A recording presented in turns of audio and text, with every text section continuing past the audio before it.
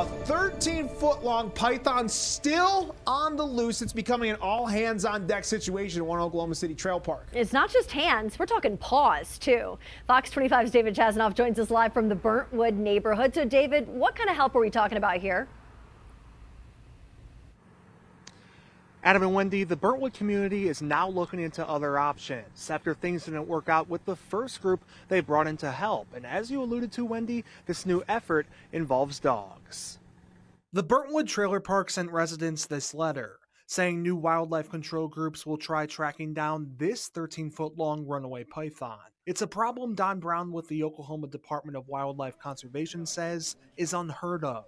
Personally, I'm not aware of any type of situation like this um, in, in my career here at uh, the Wildlife Department. According to community manager Justin Gray, an expert will track the snake using two Labrador retrievers. Only one dog will be on a leash. The python is going to be a, an opportunistic predator, and they're going to uh, try to uh, take whatever they need to, to eat to survive. Brown says if the python bites a dog, the health consequences may vary. As far as what hazards would be caused by such a snake, um, really it's, it's limited to the bite or, or if it's able to wrap itself around uh, any victim and squeeze it to death. According to the letter, the park also plans to have another wildlife specialist set traps under three homes to isolate the snake. If the snake really has survived this long, um, then certainly it has a place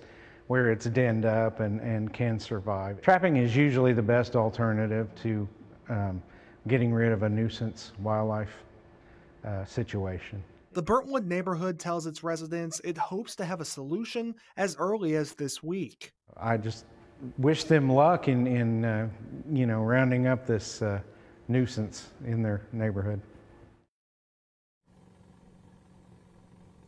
And no matter how this situation ends, the ODWC wants to remind people that they're always responsible for taking care of their pets and they should never let any invasive species get loose in Oklahoma. Reporting live in Oklahoma City, David Chasanov, Fox 25 News.